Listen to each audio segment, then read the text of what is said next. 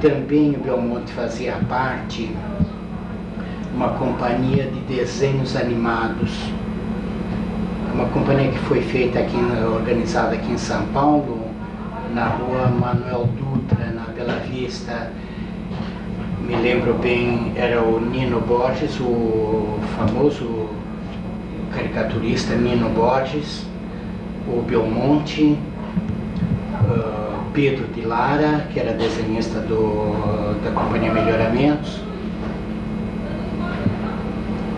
e os outros eram cineastas assim que trabalhavam na, eh, no ramo. Lá você ficou pouco tempo também? Não, lá nessa companhia eu cheguei a ficar mais de um ano, quase uns dois anos.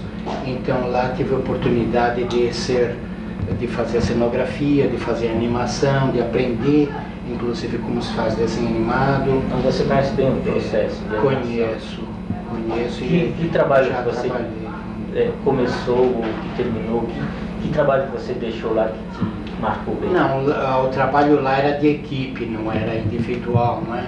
Então eu, eu fazia o que... Você não pensou A parte de animação, nunca criei nada lá e apenas uh, uh,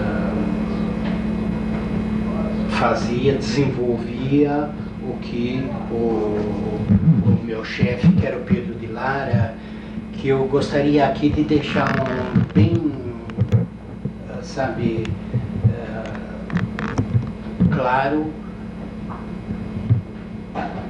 uma verdade que poucos conhecem. O famoso Zé Carioca que o Zé Carioca Walt Disney, Disney, atual que o Walt Disney usa, foi criado aqui no Brasil por Pedro de Lara Dante. Isso é?